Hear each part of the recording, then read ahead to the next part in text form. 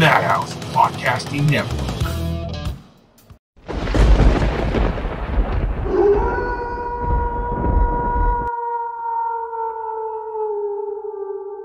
All right, what is going on, ladies and gentlemen? Welcome back to the Mindless Horror Podcast. Today with us, a very special guest, referred to us by our good friend Scott Dieterman. This is Mike from Rib Effects. Uh, from What's what you up? could, from what you could see in the background, obviously he does phenomenal work, man. Uh, how long have you been doing effects, man? Well, I'd say I probably started from a pretty young age. I mean, just like most anybody that I think is in this field, it's it's a really um, I think most people that are in this field got started in a real DIY type scenario. You know, you watch, you see these movies, growing up in the '80s, um, no internet. I, I, you know, it's like, well, how do you make this stuff? You know, so you have magazines that you look at, you have things like that, and you just kind of do it. You know, and I'm lucky that you know I had very supportive parents. You know, my father's a contractor, so he makes things with his hands. Was very supportive of me Right. my mom was always she never they never uh, dictated movies like to watch for better or for worse really i mean i, I probably saw some movies that i definitely should have not seen done that in that time period which is i'm still processing you know Right. in my 40s so uh but but um that's pretty much it i mean it's it's really been a lifelong pursuit you know it's really it ties into a lot of things you know when i was a kid i loved magic you know um movie you know movie magic right. you know, sleight of hand magic, these things like kind of tricking people, you know, Yeah. that kind of stuff. And um and so that was it's been pretty much a lifelong passion for me. You know, professionally I've been doing it maybe now for uh for maybe 15 years, nice. you know, about Yeah. that long. Because So you know when you watch a horror movie, here and there. you watch a horror movie and and you know my favorite things in horror movies especially when you watch a lot of those 80s films uh, especially john carpenter i'm a huge fan of practical uh, hardcore Yeah. effects like that you know where it, it's it's Yeah. something that the actors actually saw it wasn't in post-production of cgi i mean if you have a really good company that can produce really good cgi then it looks good but i'm more of a practical fan hands down like the thing one of my all-time Oh, favorite 100%. films you know what i mean Well, for for me a, film is done in camera. yeah So what's the camera sees, that's the film. When you start getting into CGI, this is just my personal opinion, and you know I don't want to offend anybody, but the, like for me, when you start getting into CGI, that's more of like a cartoon to me. right For me, film is what is in the camera. What is the camera seeing, and I'm Yeah. seeing what is in the camera. You know, we were talking about music earlier. It's like a true fidelity of like here's what you're seeing in the camera, and this is what the what the what you know the the moviegoer is going to see, right and that's to me what makes a movie a, a film a film. Yeah, exactly. No, I, I 100% agree because it's rare that you see a lot of these movies today, especially horror, that actually will go and use practical effects. You know, a lot of the things it's easy just to put in the CGI and just kind of do it. Um, one of the more recent films that was heavy on practical effects, which I was very happy about, was that Blumhouse film Freaky uh, with Vince Vaughn and uh, Kathryn Newton. Um, the deaths in that film were just. I think I saw that one. yeah, they were they were so you know, there was a, a little mix just like a little bit of CGI, but for the most part it was practical and a lot of the deaths were just pretty brutal and I was like I'm glad they went a practical approach cuz now I can see it on screen and it looks it looks better to me. You know what I mean?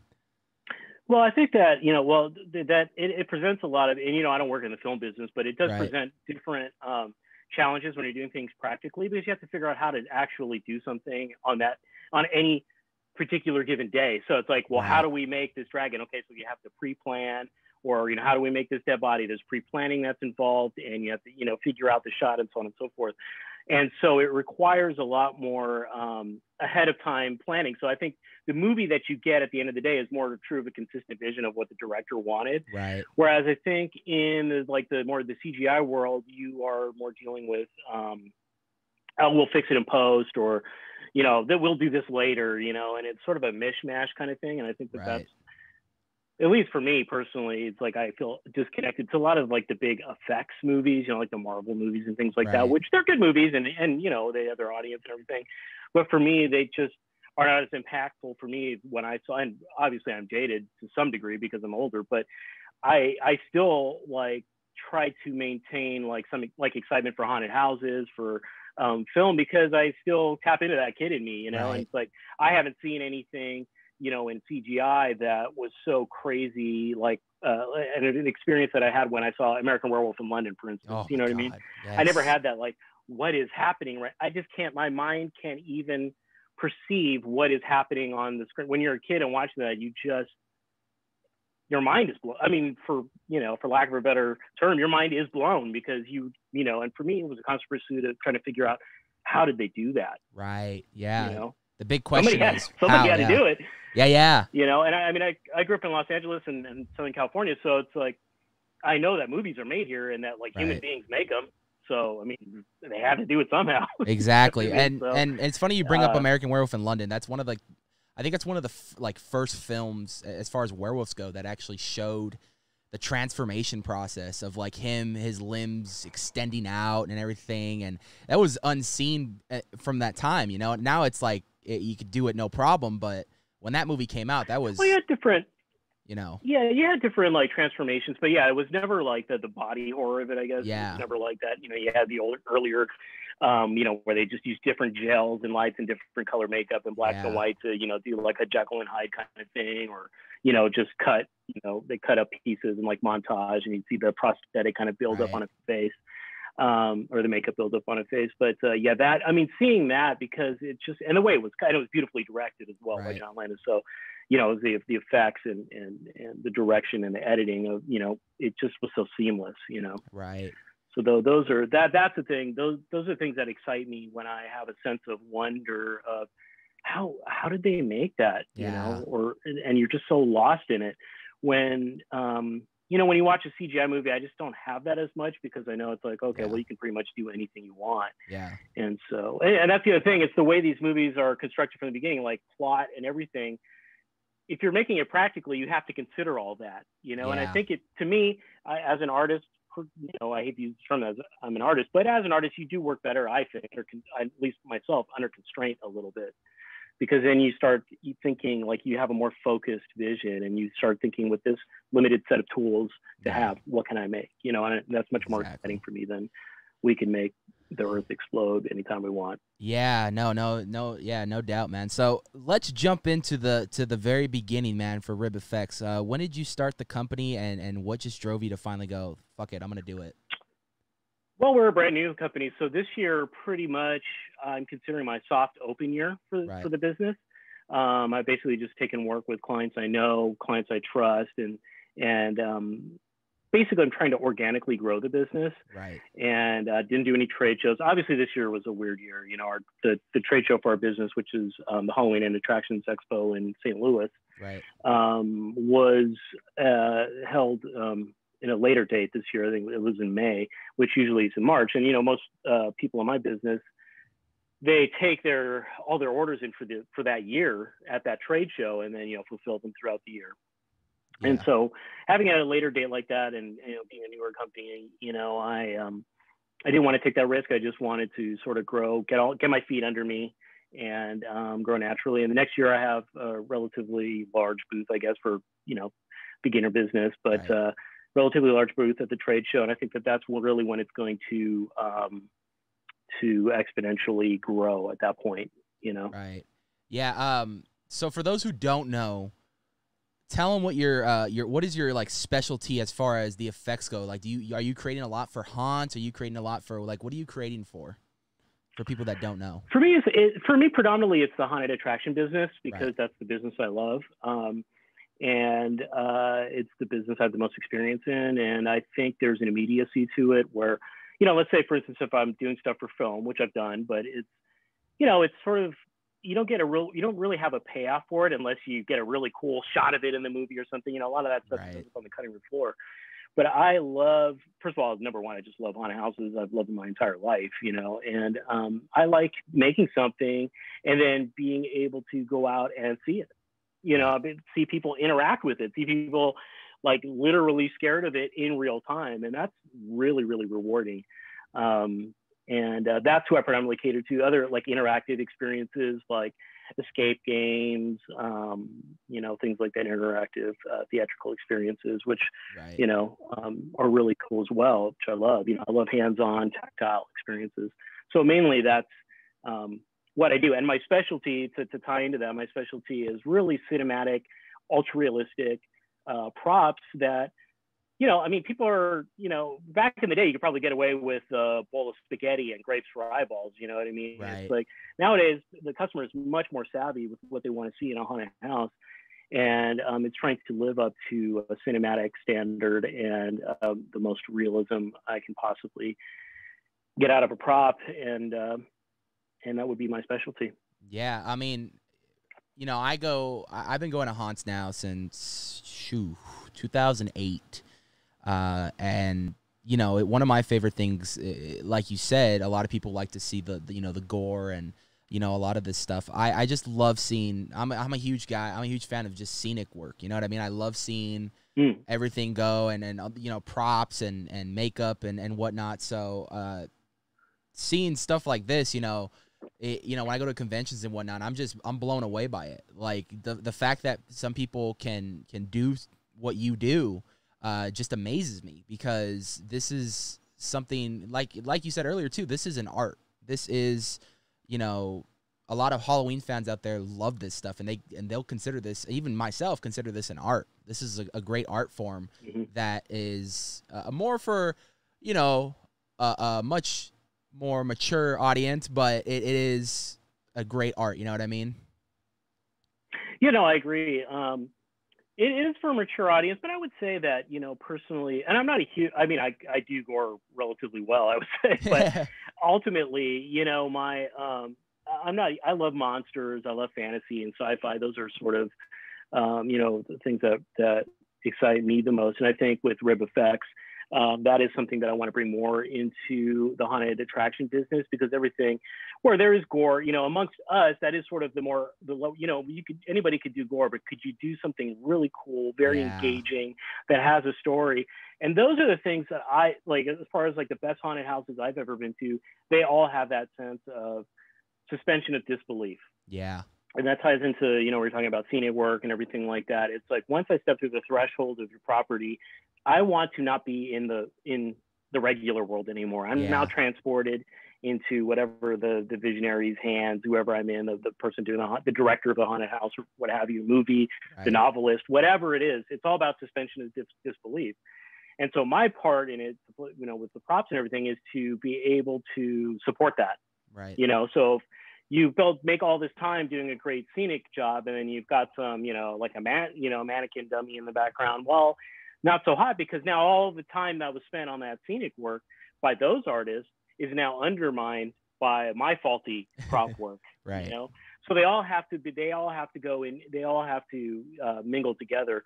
And that's another cool aspect of um of working in the haunted house business because it's a lot like i was talking to you earlier uh, before we we're recording that i've been in bands most of my life i love that collaborative nature of it where it's like and it's almost kind of like the circus in a weird way Yeah. You're just you know it's like this thing that comes and then goes it's like in the town and then Yeah, gone you know? exactly. and I kind of love that. And it, and it requires you to all work together to all these specialists in your art. You know, filmmaking is like that to some degree. It's just not as you know punk rock or whatever as like being in a haunted house, but yeah, um, but uh, I love all that.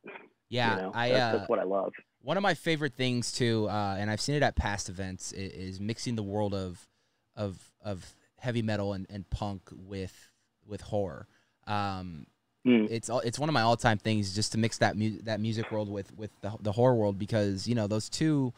Uh, you know, we, we're talking about music. We're talking about you know effects and whatnot. I've seen some great stuff come out of uh, some amazing, talented bands that I just idolize uh, in mazes. For example, at Halloween Horror Nights back in like 2013, they did a Black Sabbath maze. You know what I mean? And for those who know Black Oh, Sabbath's yeah. music, you Mhm. know it, it's just it's second to none. And to to see Mm. that music world come to life, you know, the songs of Black Sabbath come to life. It was just a beautiful, beautiful uh, challenge that was approached by John Murdy that he executed perfectly.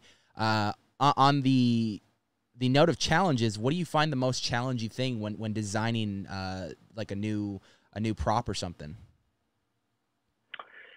Well, I think the most challenging thing is is figuring out um, basically tempering your ego. Right. You know, you can have like the really, you know, you, you can really have like, oh man, I have the best idea for this monster, you know, but you really have to think. You have to say it's you know it's about you and your artwork and and your abilities. Uh, you know what what you can do, but it's also you're there to support uh, the haunted house owner ultimately. Right. You know, and their vision.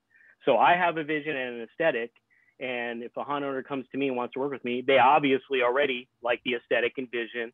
So what can I do that's not just about me and what I want to do, but what what can I do to support the person that's putting the entire show together? Right. And that's a difficult dance sometimes. You know, it's like it's not always easy. You know, but yeah. I think um, I have I have so much respect and love for this business mm. and the people that are in the business. I mean, that's that's another thing. I love the people that are in this business, all the haunted house owners across the country and people that work in there and everything. So uh, that it, it is it's not as hard as probably as if you're working with um, you know, in in in Hollywood, and you've got you know film executives and producers and things like that. Right. Whereas here, it's a little more like I say, it's like the circus. So you're all kind of going at it together, you know. Yeah. And it's a, it's that, but it, that that's probably the most complicated thing. Is everything else is just kind of comes naturally if I just make whatever I want to make. But it's really trying to make the coolest thing that I can, but also something that people are actually going to want to use in their in their haunted right. house. You know, yeah. can't be too esoteric or whatever. You know, ever like, oh, you don't get that reference of this, you know, Z grade movie that no one saw. You know, you don't get that. yeah. Well, it's like, okay, no, I mean, it's not really for that. It's about you know, a big holistic experience. And so yeah. That, that to me is the toughest aspect. No, I, I'm a like I said, I, I really pay attention in in mazes and and wherever I go to with these events uh, of just props and stuff because uh, I am a fan of looking out for Easter eggs. I, I do like to see the details and work done.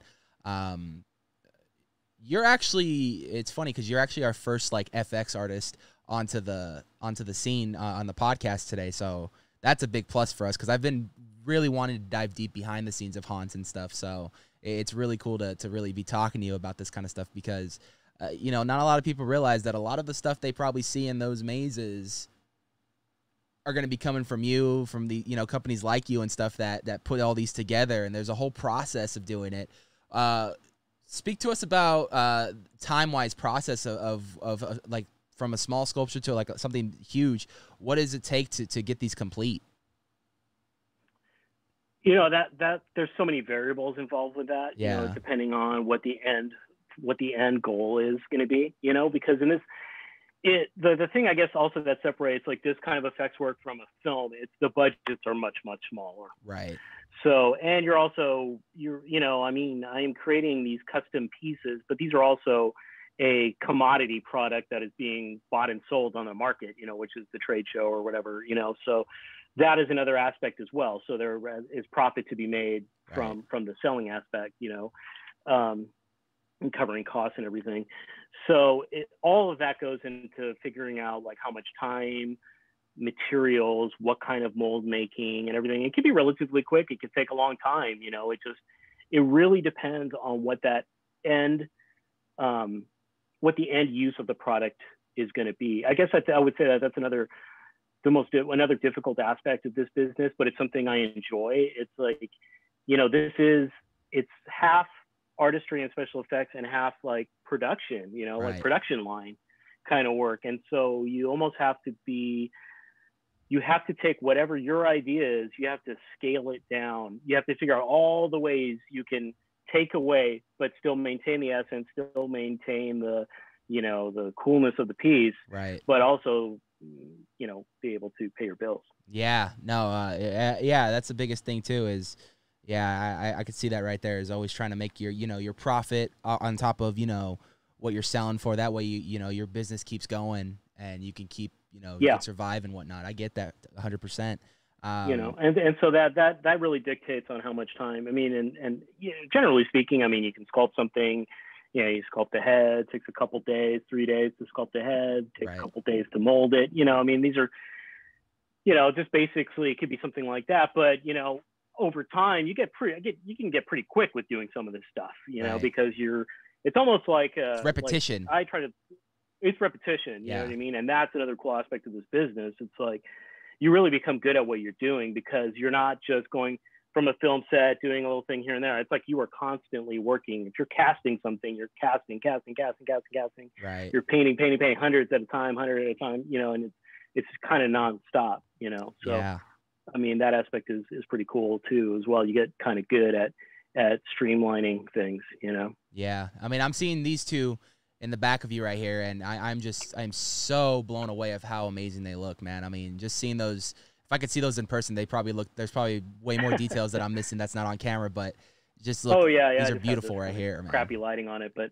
oh, thanks, man. Yeah, Yeah, I mean, these are a couple. Um, you know, this is like a staked vampire kind of guy. It can be on the, you know, you can mount it on a wall, like you stake him to the wall, or can lay on the ground. This is sort of a, a sea, what I call like a sea hag character. Um, you know, I kind of, I'm a huge Lovecraft fan.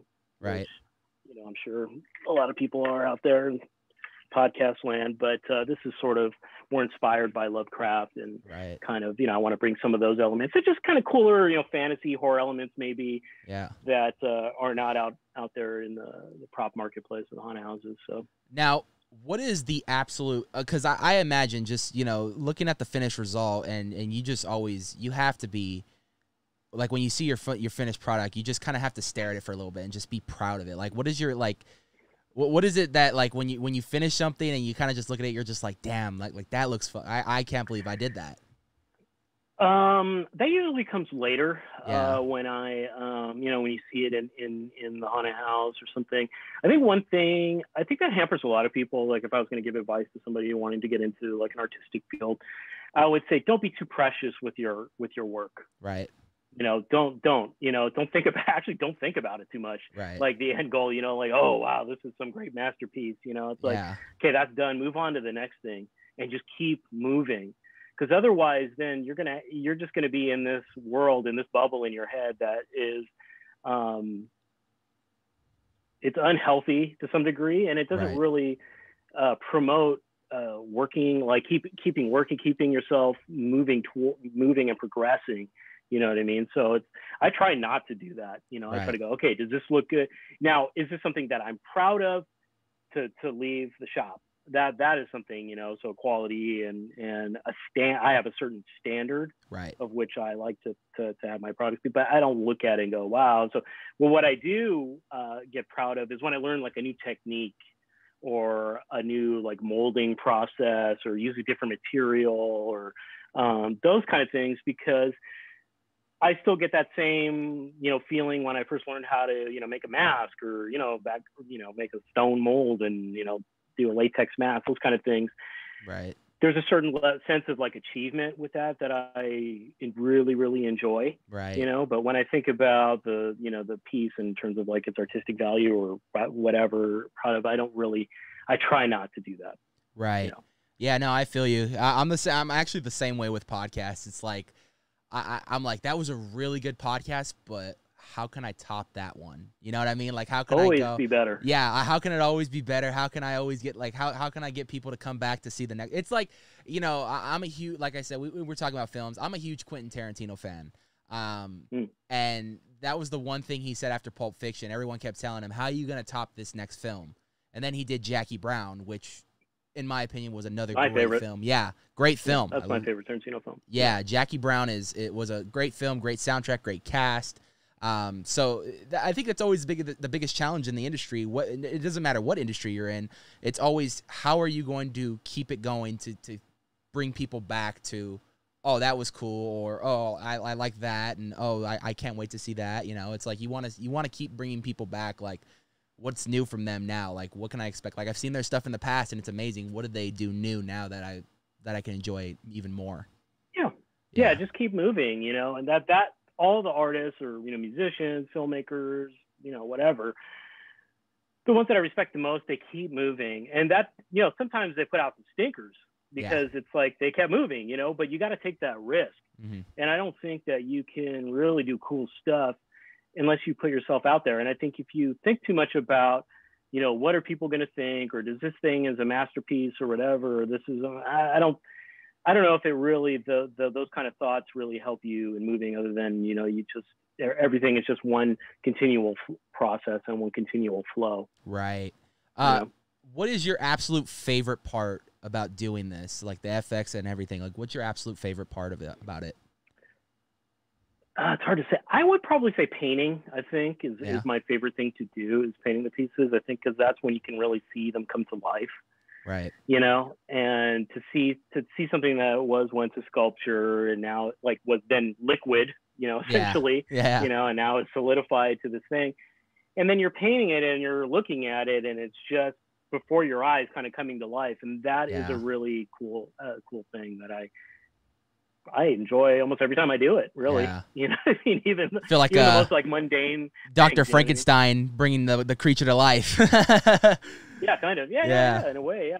yeah. I mean, I like it. It's cool. It's just like, wow, okay, this is the thing now. You know Yeah. what I mean? It's like this is the thing. It's like this is going to be a cool character. You know? Yeah, no, definitely, and So- and that's it's cool to, as a fan perspective, it's always cool to see the end result inside the mazes and whatnot because you know you get to look at these props and you know whatever if it's a you know uh, speaking on like Knott's and and Horror Nights and stuff if you go through these mazes and you really like them and then you you know you go keep going through them and you you know if you go multiple nights and you see more and you start discovering more props you didn't get to see the first time and stuff and then you something catches your eye and I mean there's so many things Yeah. that I've you know over the years I've gone to all these haunts and there's just so many props and stuff that I'm just like wow that was phenomenal Yeah. No, I know. And I mean, you know, it's great because the people that actually make the movies, yeah you know, the effects artists, the the the crafts people that make these movies. You know, these movies aren't made by. You know, the movie isn't entirely made by Quentin Tarantino.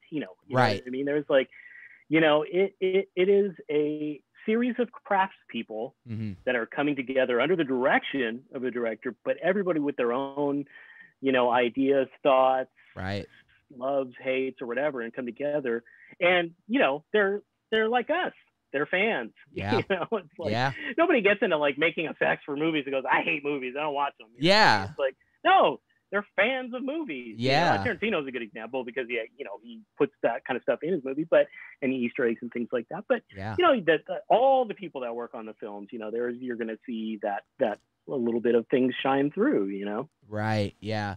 Now, uh, earlier we were, you know, we've been talking a little bit about music and stuff. Is there, uh, are you a big fan of, of, of having music go on while you're while you're working? Does that help you motivate you to keep getting things done, or are you just kind of like a silence guy? No.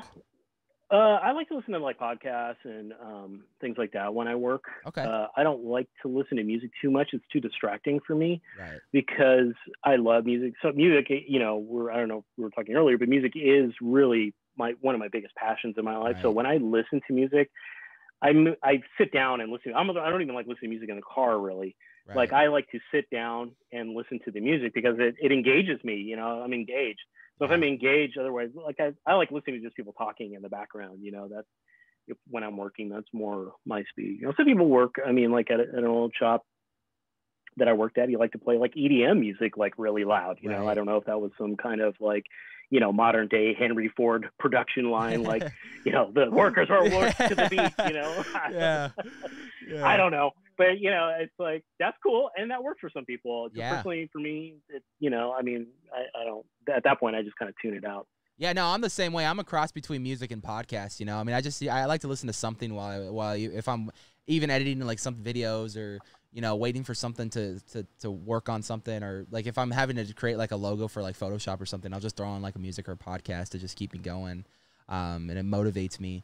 Uh, that's one of my things too. It's one of my traditions. Every time I go to a haunt, I like blast a lot of metal and, and punk music because just gets me in the mood. I'm I'm a huge uh, fan of uh, the Misfits, so um, you know, a Mhm. lot of their music relates to Halloween, so it's just something I always and Oh, I play yeah. year round, so it's like just never stops. One of the great, uh, one of the great haunted houses out there uh, is a haunted house called Statesville in um, Chicago or outside of Chicago.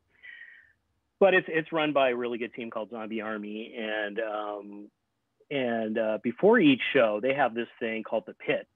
So they get all the actors, and I was lucky enough to be up in the rafters when they were doing the pit and they were doing the announcements. But they, all the actors, everybody gets together in this big communal area. It's pitch dark. The director of the show, uh, this guy John LaFlamboy, he's in costume as this like nice. you know kind of Mad Max looking prison guard, yeah. and he gets out there and he pumps up the crowd and everybody's in character and they play this you know kind of you know heavy beat music and everybody's just the whole crowd's kind of moving up and oh, down and dude.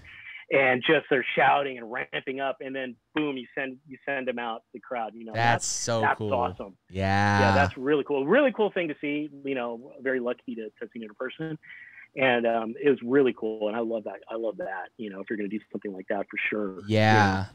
No, that's that's my. Th- I think that's my thing. Is uh, dri- when driving out to the haunts, I love to just blast music.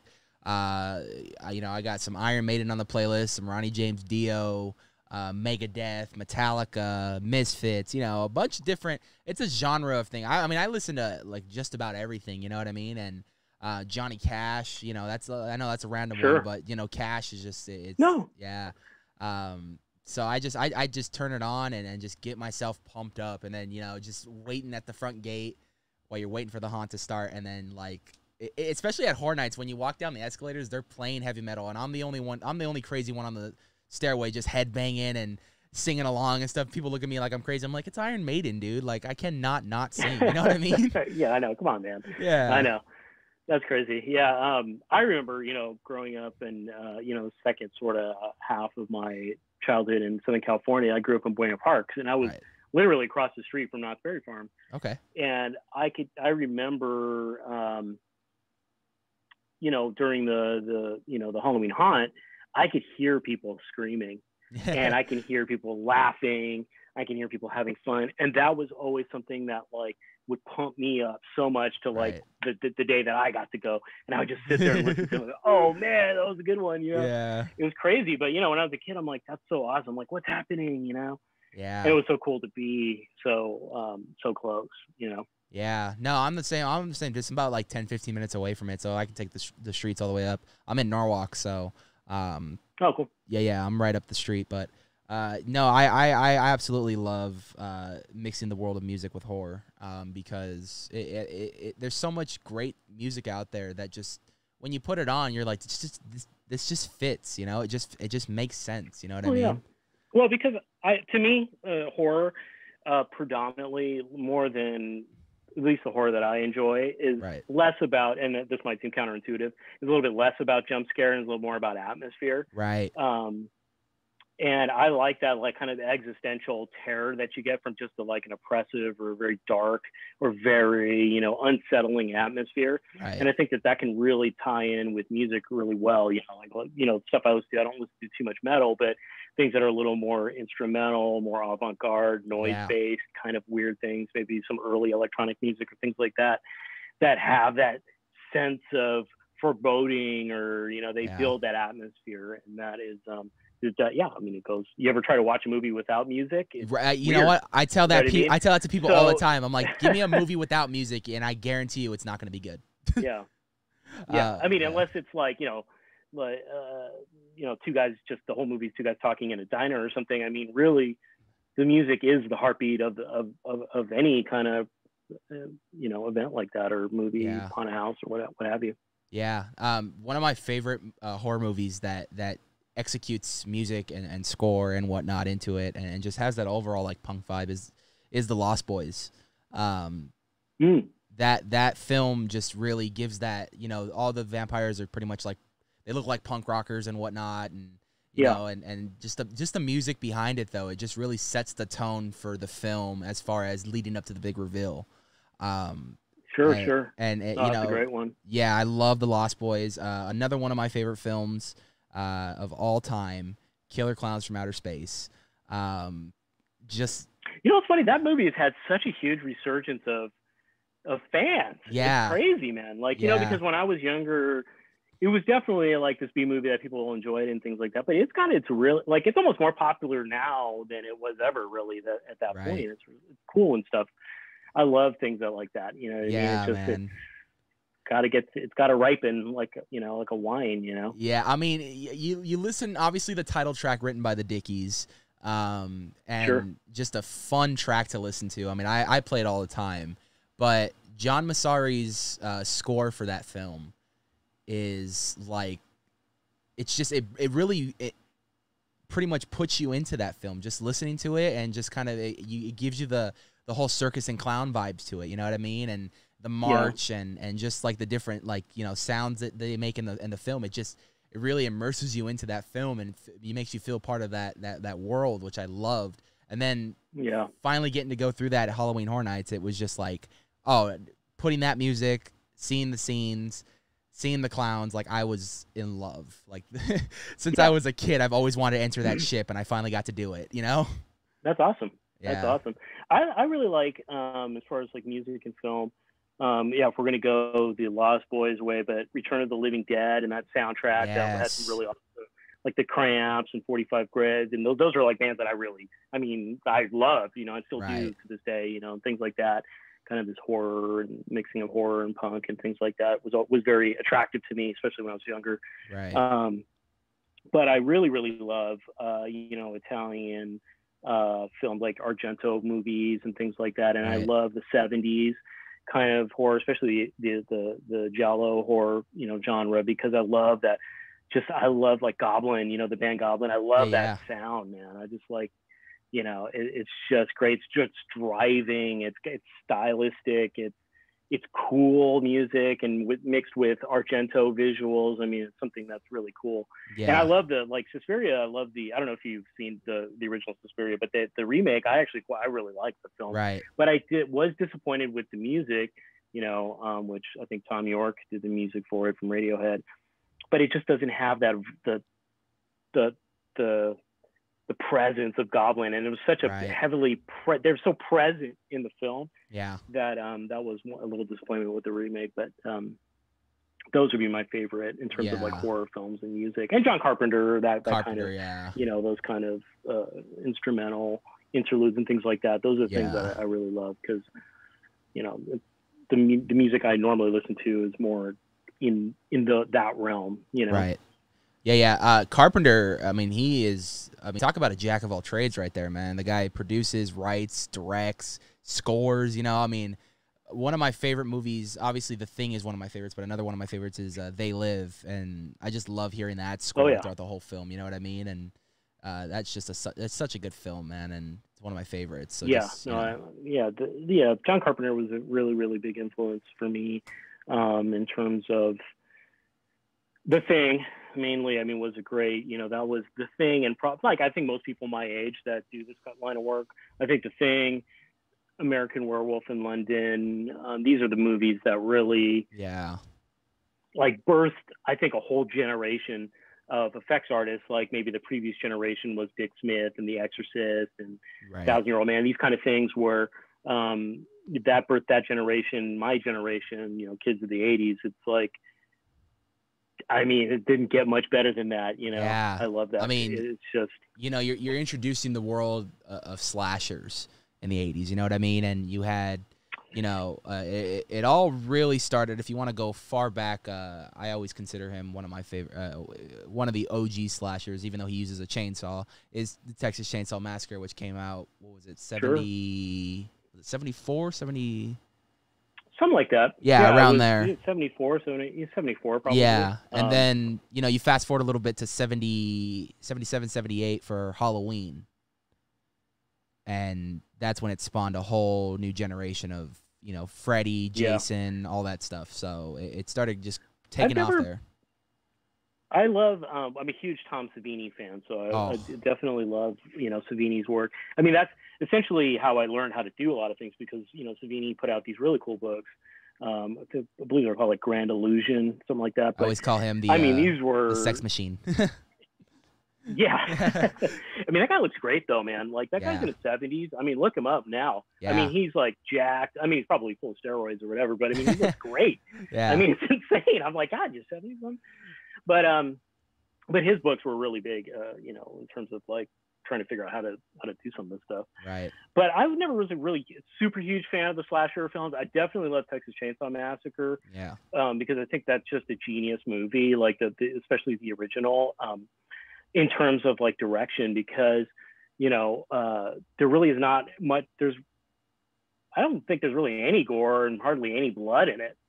But Yeah. in your head, you think like, man, this is like one of the goriest, most sick movies you've ever seen, yeah. And it's not. Because when you watch it, you're like, you know, when something happens, they actually cut away. it's an off-screen thing You know, yeah. so it's an off-screen thing, and I find that to be, you know, it's again, it sounds counterintuitive to, for what I do, but I find that that's a very, um, uh, very uh, effective technique for me because I think your own mind is a lot more uh, will think of something a lot scarier than whatever anybody else can show you. yeah You know. No, and that was uh, you know talking about you know stuff like that. Another one that really, uses music to an advantage because this the disaster they had on set making it was Jaws. You know what I mean? When you when you look at Mm, Jaws, Yeah. you don't see the shark a lot. You know, you see you hear the music, knowing that that is the shark, giving the illusion of the shark.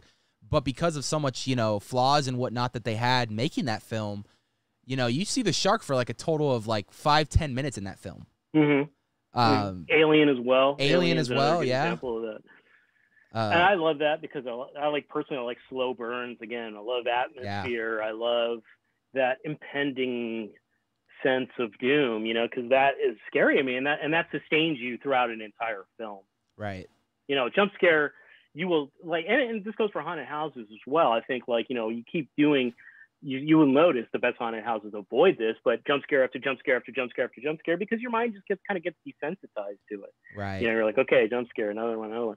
But when you have that overarching sense of impending doom, that's a much more lasting effect. And I think it's much more effective of creating horror, you know. Same thing with the first Halloween, because the first Halloween yeah. was like that as well. It's a lot more about atmosphere and and um, you know, than than uh, just Yeah. Just no, the, uh, definitely. the blood and guts aspect of Um, it. because it does. Yeah, it's So- the same thing. You, know, you, you look at Michael Myers today and you're thinking like, oh, this guy's a freaking gory killer. I mean, the new ones you see him. He, I mean, they have obviously they have the the money and stuff now to do it, but like when they made that first one, Hmm. it was considered a B film. You know what I mean? It wasn't supposed to be as big Mm. as it was, and it and it blew up. Yeah. Uh, so they were working on a very tight budget. You know, the I think their you know their most well known actor at the time was uh, Donald Pleasence.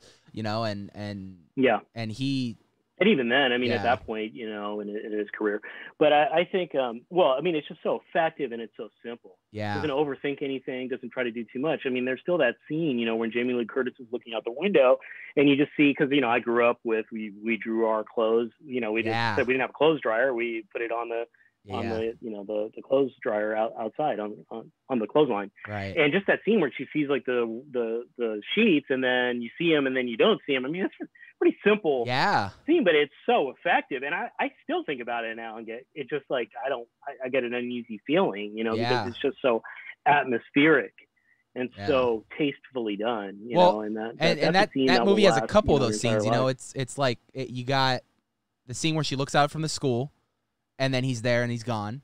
The scene where she's walking Yeah. home in the bush, he's there and he's gone. So it's like you know thinking, you know, it, it may not look like much, but you know when you start thinking about that in like a real life scenario, it's a little freaky to think about. You know what I mean? Like It is because what the, the the one thing that I find is like the best about horror movies, and this is because my very first love of any kind of media was the, the original Twilight Zone. I grew up oh yes, coming home from school, you know, KTLA, Channel Five, man, you'd have the Twilight Zone on there, and and you know, when I was young, it was Thanksgiving when they had the marathon. right, But I think the idea of like an unreliable narrator, like in films, or like the unreliable protagonist, is Right. like something that's very appealing to me because that is the protagonist essentially is your anchor point in the film. So when the protagonist in the film, you might be like, okay, are they really seeing this? Are they not seeing this? What's happening? right, To me, that adds to that sense of like impending doom because now your anchor in the film is not a steady anchor. You know what I mean? And so that's something that I eat up like quite a bit. Like one of the most scariest episodes of the Twilight Zone is an episode called The Dummy, yeah, you know, with a ventriloquist dummy. yes, one of my favorites. And you just don't know, like, is this guy a drunk and like psychotic, or is this thing for real, man? Because like I don't know, and it's just like you, it you you you get you can so quickly become in that person's headspace, you know, and like you know, there's little scenes where the the the ventriloquist doll is looking this way, you know, if he has, the actor has dialogue, he looks over here, and then when he comes back in the mirror, you can see like the head is just shifted a little bit like this yes, in the background, just in the background. You know, they don't bring any attention to it. Just boom in the background, and it's like that enough. Even thinking it today, like makes me feel weird in my stomach. Well- you know, because it's just so. you know, effective. y- you're talking about Twilight Zone episodes. Obviously, uh, one of them that that leaves you with suspense the entire thing until the very end of the episode was uh, "Beauty is in the Eye of the Beholder," with Oh, you know sure. the pig face people, but you don't find that out to the Oh, end. yeah. Like you, you, you know, you, all you hear is, you know, you've been in a terrible accident and we had to reconstruct your face, and and so you're thinking. Oh, her, she must be messed up. Like you know, the entire episode, like because it's all black. You don't see any characters. You know, you only see the the bodies, the what they're wearing, but you don't see their faces. And then at the end, like she's like, "Oh, we gotta, we, we're gonna put you here with someone else that's just like you and stuff, so you won't be alone." And you find out them two are normal, but the whole world is all like pig face people, and you're just like, what the hell is going on? Like Yeah, I was thinking the complete opposite. It's a classic episode that's really stood the test of time, and and that's a good example of like another technique. I think that's really effective is the idea of like subverting expectation. Yeah. And um, you know, people use that a lot. These like I remember I was a huge Game of Thrones. I am a huge Game of Thrones fan. Oh, I read Game all the books is- and everything like yeah. that. And but but the the last season was so horrible, and the, those, the, the, the two guys that you know really. Um, uh, you know, put, put the producers that put it all together, like, oh, well, we just want to subvert expectation, you know, which it's like that's like the the bad way to do it, which Yeah. is basically it's just a like, hey, gotcha for no Yeah. reason. But like something that stands the test of time, like Eye of the Beholder, is a great example of that technique because what it does is now you're you're are all ramped up for to see like, God, how ugly is this lady? Yeah. Like this is going to be nuts, dude. When they take this Yeah. bandage off, it's going to be crazy. Then they take the bandage off, you're like, whoa. Now you have to reassess everything Yeah. and you have to think like what's what and so now you're in a headspace to where you know rod serling was a brilliant you know my hero really Yes. was a, such a brilliant person to realize of putting people in order to get certain messages across you have to put people in certain headspaces you can't just tell them like something you can't just preach to them right. because they're going to have all their preconceived notions and all these stuff, biases and things. But if you can get somebody in a headspace using suspension of disbelief, subverting expectation, all these different types of things, it's a lot easier to get through um, to people, and it's it makes something that stands the test of time, which is Twilight Yeah. Zone. As I would argue, you can watch an, anybody generation can watch an episode and still um, Oh yeah. enjoy No. it. I, I even think to this day, uh, I was fortunate enough to have a really cool uh, English teacher in high school, my freshman year. And uh, like on days when we would be caught up or something, or like if we, you know, he was feeling it, we would watch. He would show us episodes of The Twilight Zone, and that's when I first really got introduced. Like I always knew what The Twilight Zone was, I just never actually seen it. And so when I finally got to actually watch a few episodes, that that Eye of the, Be- uh, the Beholder and the Dummy one uh, was Yeah. two that I remember watching, and I just remember falling in love with the show. That like the very like next day, I remember it, it being on Netflix, and I just binge watched the entire series, just because I couldn't Yeah. stay off of it. Yeah, it's fantastic. I mean, it just it, it's it's so simple. Some of the things are so simple. Some of the episodes only have two characters. Those are the ones that really one character. I mean, the pilot. Think about how ballsy this is too. Yeah, I mean, the pilot episode is an episode called "Where's Everybody" with Earl Holliman, who does like one of the best, still a performance that I think is like one of the best in like TV history. right. Taking like he's uh, starting a pilot episode of a series where he is the only apart from like a, a, a, you know several minute epilogue of the thing. He's the, the entire show Yeah, just him. You know what Yeah, I mean? yeah. Like running around an empty studio lot, like a Universal lot. You know, and it's like that's nuts, man. But yet it's still like, what you know, it's still very captivating. And Yeah. it's, it's it's really Now- cool. And what they did with so little. was it Twilight Zone or was it Hitchcock's show? I forget which one. There was an episode where it was about mannequins in a mall. And one of them got to That come to Twilight life. Zone. That was Twilight Zone, right? Okay. 'Cause I, I Mhm. used to watch Hitchcock Hour After too. Hours. Yeah, Yeah, I- sure. I used to watch the Um, that was an episode Yeah. called um, The After Hours, and that's a really cool episode Yeah. too. You know, about a mannequin that comes to life. They have their floor that they're on, and Yeah. she goes out shopping, and then comes back up, and then has that sort of self-realization moment that you know she's a mannequin, They take I think you turns. forget. Yeah. They take turns Yeah, yeah. essentially, you know, and that that sort of that is an intro. That is a really cool episode. You know, I mean, there's a you can. I mean, I've been thinking about the Twilight Zone my entire life. You know what I mean? And I- Yeah. every time I watch it, I I have a different conclusion. And some episodes that I didn't like, um, you know, when I was a kid, I I mean, those are some of my favorite now. You know, it just Right. just kind of, you know, you you grow with the show, and it's it's, it's still my favorite show, TV Even- show of all time. Even the movie they did back in like the the 70s, 80s, uh, the Twilight Zone, the Mhm. movie.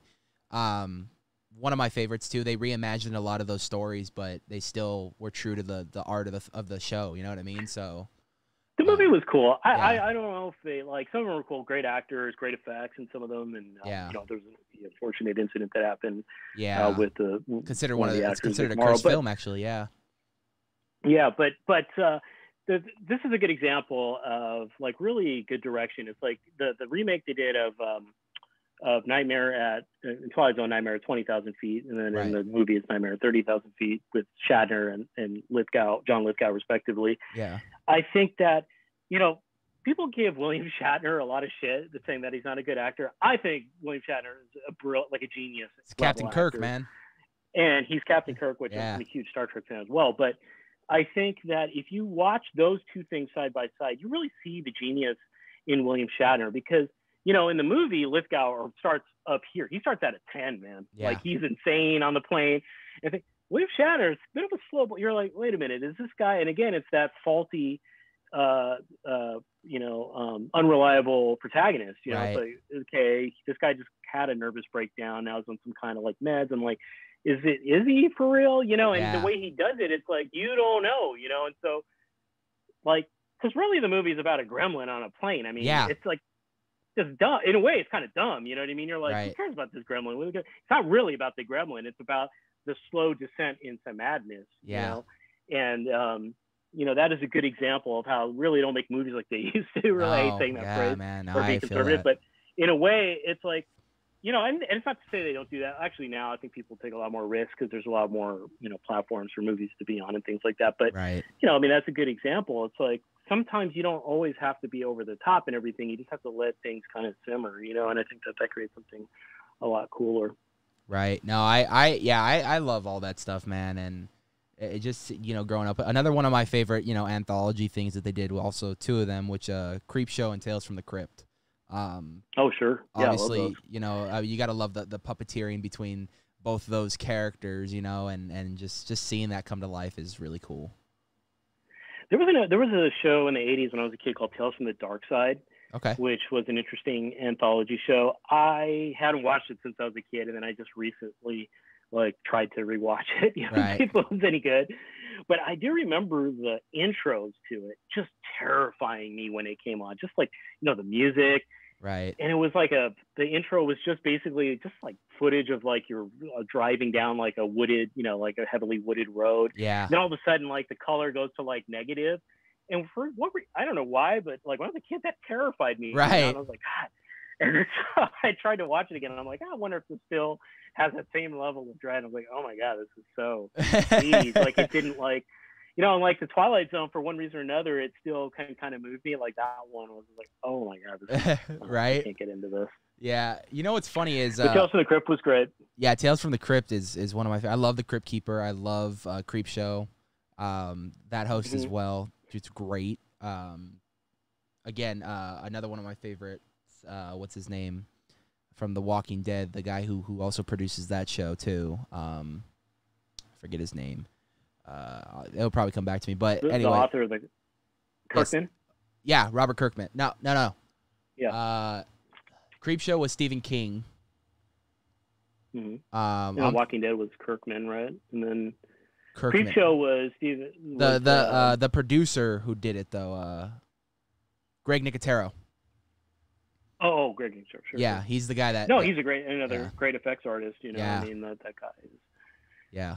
Definitely had a good, and he seems to be really supportive and um, really cool. And there's a lot. I mean, The Walking Dead. I, I don't really watch. I don't really watch too much of The Walking Dead. In all Right. honesty, I'll watch like scenes and frames for reference to make cool stuff. You know, Yeah. but I um, there's a lot of Easter eggs in there. You know, especially as as as um, as you know the seasons will roll on you know like effects artists you know will make like kind of homages of Yeah. you know zombies that are of different things i know one of my favorite uh, effects artists that works in the film industry is this guy norman cabrera and norman cabrera did a zombie that was based off one of my favorite like old you know vintage masks which is a shock monster which was um you know really cool iconic image if i showed you the image you would know what it is but he made Right. like his modern updated zombie as that so those That's so little things like that those are really cool to see yeah Yeah, man. I mean, I, I am an absolute fan. It, uh, before I lose this one though, because there is something I want to tell you about Twilight Zone. One of my, one of my buddies actually, uh,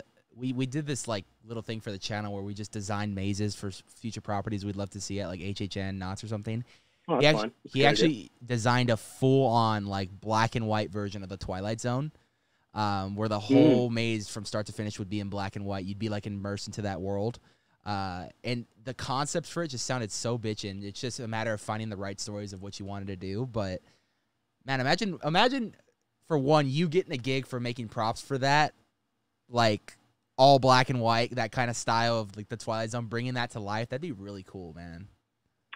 That would be cool. You know, I've, you know, I've thought of that as, you know, many times Yeah. over the years of, of how could that be, you know, it's tough because I don't know if you could capture that in a haunted house because it's just really you're ingesting two different you're ingesting the medium two different ways. You know, Right. if you did, it would have to be something more akin to like um, you know I don't know if you've ever went, gone to the event Delusion.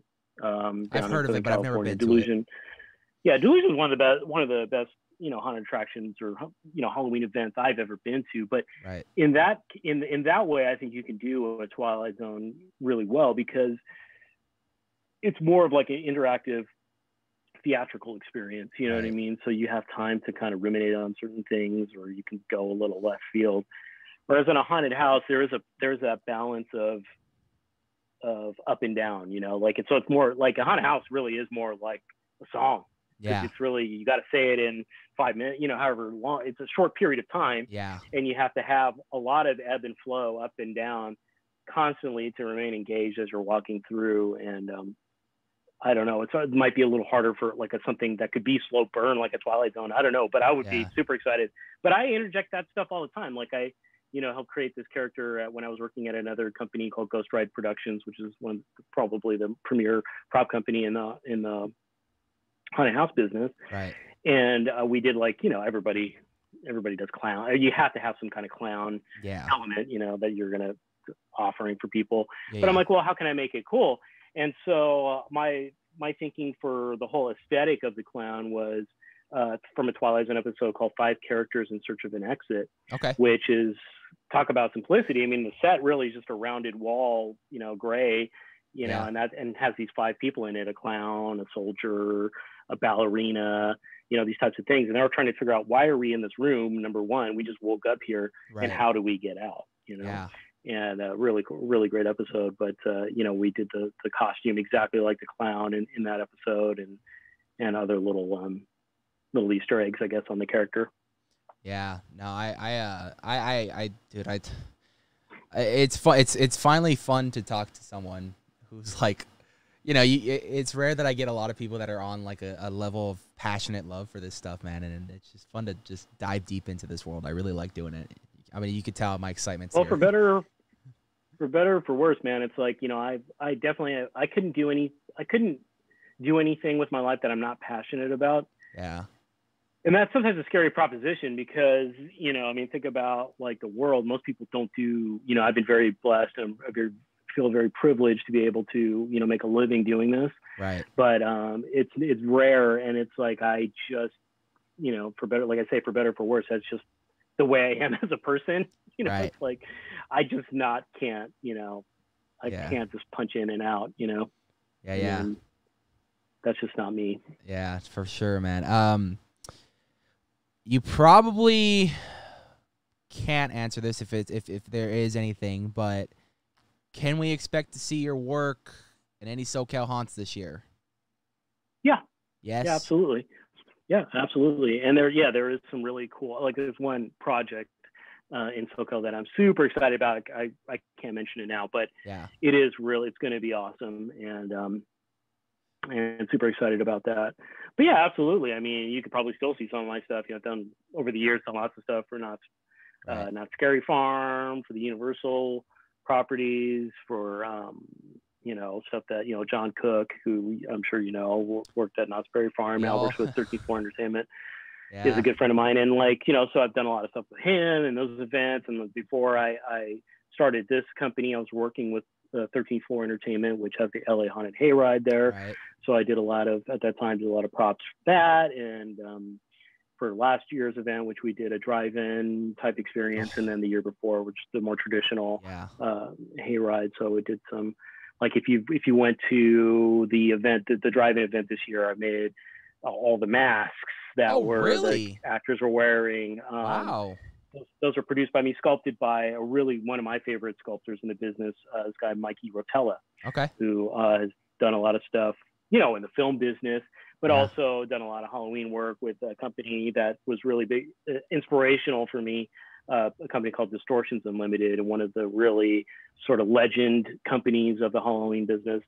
Um, so that was cool. Like there's like a giant, you know, 11 foot fish hanging off the end of a boat. I made that. All these little things here and there, you know. So Dude. Hats off to you because Oh, that yeah, event was one of my favorites last year. Oh, really? Cool, Yeah. man. Well, that was a really, you know, we didn't know what we were going to do, and putting it all together was very kind of hectic, and you didn't know how are going to people like this, or are they not going to like it, you know. But I think ultimately, you know, it took us maybe like a week or two to really get in the swing of things. But um, when we did, it, it was a super fun show. It was just, it, it was really cool. You know, Monty Revolta did a great job, I think, as you know the host, which I Yeah. I love that guy. Huge fan of his.